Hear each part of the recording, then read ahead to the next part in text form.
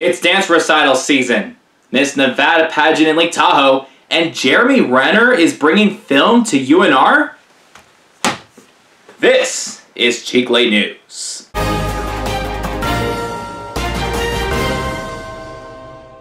Welcome to Chicle News of Entertainment. I'm your news anchor, Alex Gumm. Our top story. The Silent Disco is a fun and unique listening party experience with wireless headphones provided for guests. This is a free event at the Brewery Arts Center in Carson City. There's also free music, free drinks, and free food. This event will take place on June 10th at 8:30 p.m. to 10:30 p.m. once again at the Brewery Arts Center in Carson City. This Saturday is the annual Carson Valley Parade Day. This year's theme is Hawaii, also known as Aloha Carson City. So you may possibly see some palm trees, hula dancing, people wearing coconut bras and grass skirts, and more. And maybe pineapple on pizza, but don't get controversial. So, tomorrow on June 8th all the way through June 11th, of course, there's a carnival happening at Lampe Park in Douglas County in celebration of Carson Valley Days. This is an annual event. I think this is 113th, I would say. This parade on Saturday is going to start around Esmeralda Avenue in Minden Park and will work its way on the highway all the way to Lampe Park. So make sure that you get to your best spots to watch the parade before the Douglas County Police Department shuts down some roads that leads to the parade.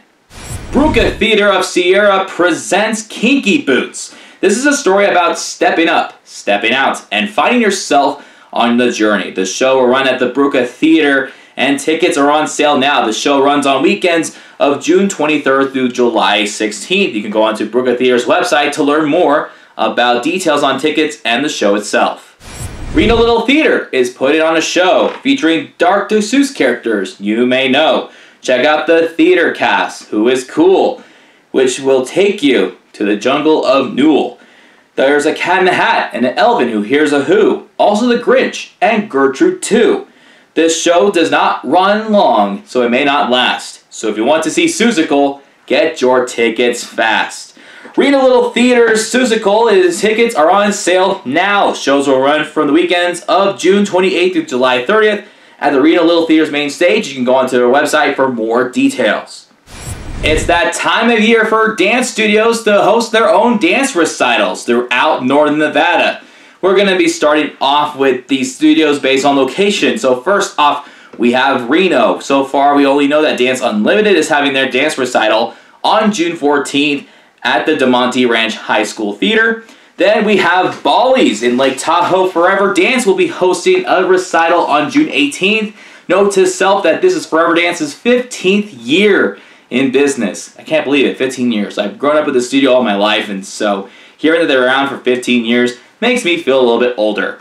Then finally, Bob Boldrick Theater is completely booked with dance recitals all throughout the month of June. And we're going to list it out in chronological order, all about dance this Friday, June 9th. Creative Edge Dance Studio the day after, June 10th. Loft Dance June 11th, and Fascinating Rhythms on June 17th. West Nevada Performing Arts Center on June 18th. Dance Workshop on June 24th to the 25th with a Cinderella theme, and finally Vertical Dance on June 27th. If we forgot to mention any dance studio in Northern Nevada that is having dance recitals, let us know in the comments below.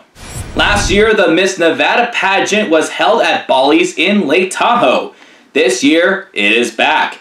15 ladies compete for the crown of Miss Nevada 2023, and 12 teens compete for the crown of Miss Nevada's Outstanding Teen of 2023.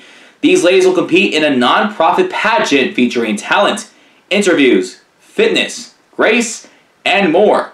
Also, there'll be some scholarships handed out as well as participation for People's Choice and the Photogenic Award. Whoever wins Miss Nevada will get the chance to go to Connecticut to compete for Miss America, and whoever wins Miss Nevada's Outstanding team will go to Orlando, Florida to compete for Miss America's Outstanding team.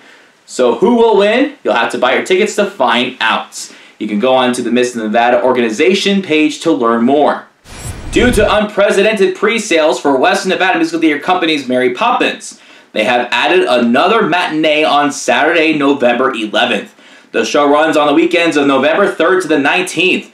So go on to WNMTC.com for the best seats early before they sell out. Also, we'll keep you updated about some details for auditions later in the summer. You do not want to miss this supercalifragilisticexpialidocious production. Truckee Community Theater is holding auditions for some of their upcoming shows. First, they're having auditions for the Christmas Story musical on June 14th at 6 p.m. Adults and children are needed. The show will run from December 1st to the 10th, and they'll also have auditions for another show called Lone Star and Laundry and Bourbon. They are in need of three men and three women around the age group of 25 to 45. Auditions will be held on June 20th in the same location, and no bourbon is required. In the meanwhile, their show How the West Was Done will run from June 9th through the 10th, so this weekend, and tickets are still on sale. So be sure to go onto the website to learn more about what Truckee Community Theater is doing this year. And our last story for today, and probably the biggest story yet in Chicle News of Entertainment history. Actor Jeremy Renner, who is best known as Hawkeye in the Avengers, met up with the UNR president Brian Sandoval to talk about building a film studio at the campus in the University of Reno, Nevada, and growing academic programs in film in Reno. A couple of months ago, a Disney Plus show aired called Rennervations, where Renner and a building crew refurnish large vehicles and buses for community projects, where they mainly have it in Reno. And they take it to other places around the world like Chicago, Mexico, India, and more. It's a really great show. I just watched a couple episodes of that. And it looks like that Renner just had an interview with Reno Gazette Journal, and it seems like Renner wants to continue to bring good deeds to the community. And one of the things was talking about bringing film to Reno. Although nothing has been confirmed about any film studio yet, but it would make a huge difference and impact on young filmmakers in Northern Nevada and can bring more opportunities to film, shows, and other projects in Reno and all of Northern Nevada. Once we hear more updates about this new film studio around UNR, we will let you know on Chicle News of Entertainment. And those are your stories for today. We will be back with Chicle News of Entertainment on Wednesday, June 21st. Also, just want to let you know we are halfway to 1,000 subscribers, so if you can help us get to 1,000 subscribers, please hit the subscribe button and hit the bell to be notified when another video comes out. And if we forgot to mention anything else that is happening in Northern Nevada, let us know in the comments below. That is it for now, and until next time, we'll be back with some more. Chicle News!